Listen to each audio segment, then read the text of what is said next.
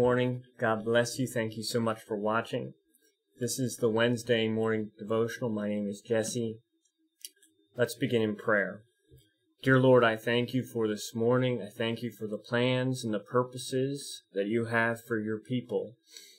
Uh, Lord, I pray that this morning that your truth would shine forth, that your light would go forth and touch each and every heart. Father, they would each take something away from your uh, from this devotional.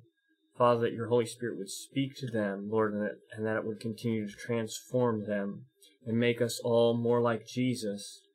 And it's in Jesus' name that we pray. Amen. Well, I named this devotional Radical Honesty.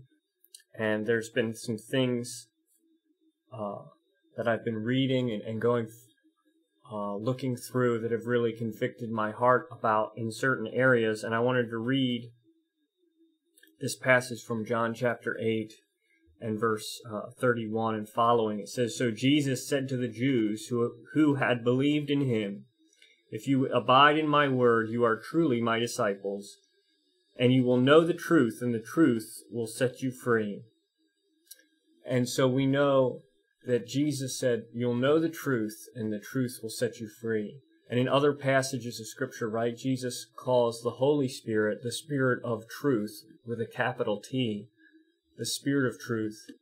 Likewise, uh, he's when he's speaking to the Pharisees, he says that the devil is a liar and the father of lies, and when he speaks a lie, he speaks out of his true nature. And so we see this dichotomy be between the truth and lies, um, and the truth being uh, part of who God is, even the spirit of capital T, truth. And we see the devil being a liar, a manipulator, a deceiver. And the Bible tells us in the New Testament, in the letters, to not to lie to one another. And so we, I, I want to focus on the, the importance of honesty in our life and in our walk with Jesus and our, our walk with others, Christians and non-Christians. The truth is, is that honesty is so important and that the truth will set us free. The truth is freeing. It breaks chains. And sometimes we want to avoid the truth because we don't want to, um, we, we don't want to feel the pain of, of shame or we want to avoid hurting other people's feelings or um, or we just want to avoid a conflict, right, or contention. But I want us to take time this morning to, to think about the importance of truth and, and think about the importance of truth being a freeing mechanism and uh, Jesus telling us that the Holy Spirit is the spirit of capital T truth.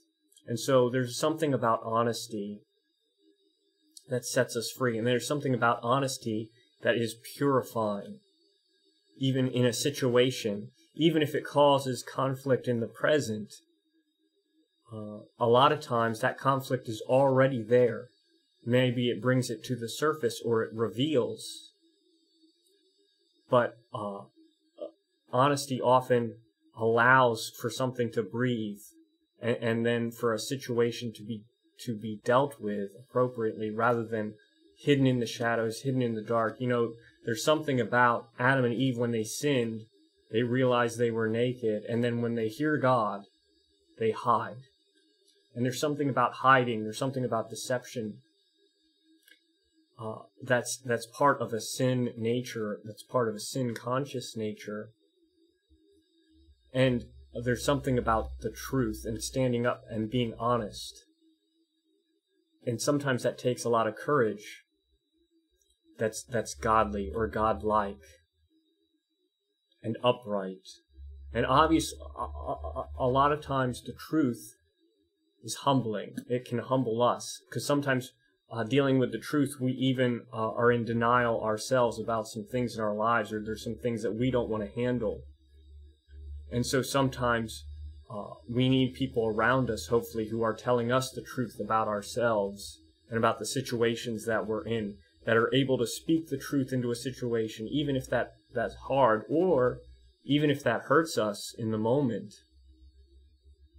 hurts our feelings in the moment. Hopefully, they can come to us in a, a, a place where they love us out of, and out of love are being honest with us. And uh, not that we're looking to hurt people, but we're looking for the truth to set ourselves and others free, and the truth that comes from God. The Bible says that the word of the Lord is sharper than any two-edged sword. The Bible can, can cut. It can pierce. Because it's true. Because it has truth to it, and that truth is powerful. And so this morning, I want to think, uh, I want to focus on being honest today, being honest this week, being truthful, even in a situation where maybe we want to be less than truthful. And there's all kind, there's a spectrum, right, of things, whether we tell white lies, we omit certain facts, uh, we skew things a certain way. And that doesn't mean that we have to be so blunt.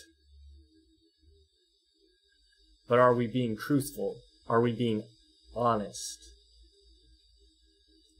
And and let the holy spirit and your conscience lead you and guide you into being a person who speaks truth who speaks honesty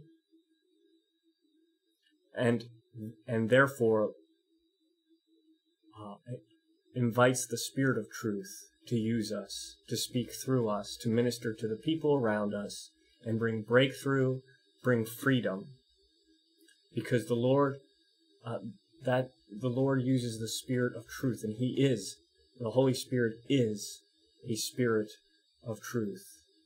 And so sometimes, if we're less than honest, we're not ministering, and if we're less than honest, we are carrying around baggage that we shouldn't be carrying.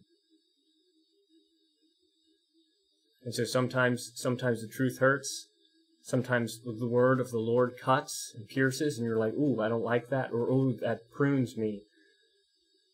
But let the uh, let honesty bring breakthrough. First in ourselves. Say, God, be honest with me. And then, when we come to those decisions on how we interact with people, to be honest. To be honest.